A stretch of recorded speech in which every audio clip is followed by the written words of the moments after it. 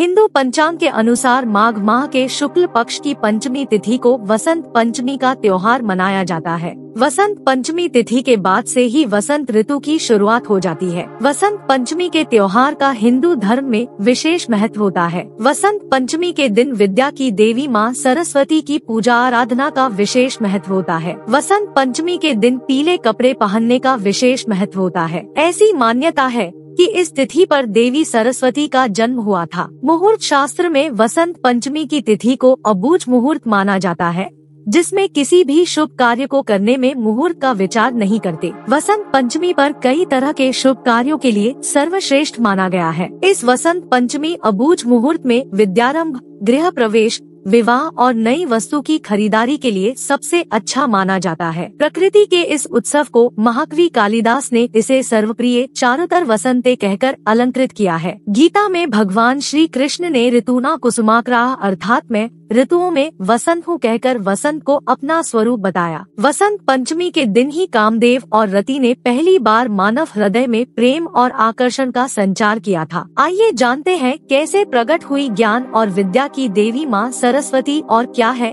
इनकी पूजा का महत्व पौराणिक कथाओं के अनुसार सृष्टि के प्रारंभिक काल में भगवान विष्णु की आज्ञा से ब्रह्मा जी ने जीवों, खास तौर पर मनुष्य योनि की रचना की। लेकिन ब्रहराजी अपनी रचना से संतुष्ट नहीं थे। उन्हें लगा कि कुछ कमी रह गई है, जिसके कारण चारों ओर मौन छाया हुआ है। भगवान विष्णु से अनुमति लेकर ब्रह्मा जी ने अपने कमंडल से जल छिड़का, पृथ्वी पर जलकण बिखरते ही उसमें कंपन होने लगा। इसके बाद एक चतुर्भुजी स्त्री के रूप में अद्भुत शक्ति का प्राकट्य हुआ जिसके एक हाथ में वीणा तथा दूसरा हाथ वर मुद्रा में था। अन्य दोनों हाथों में पुस्तक और माला थी। ब्रह्मा जी ने देवी से वीणा बजाने का अनुरोध किया। जैसे ही देवी ने वीणा का मधुर नाद किया संसार के समस्त जीव जंतुओं को वाणी प्राप्त हो गई। जलधारा में कोलाहल व्याप्त हो गया व पवन चलने से सरसराहट होने लगी तब ब्रह्मा जी ने उस देवी को वाणी की देवी सरस्वती कहा सरस्वती को बागेश्वरी, भगवती, शारदा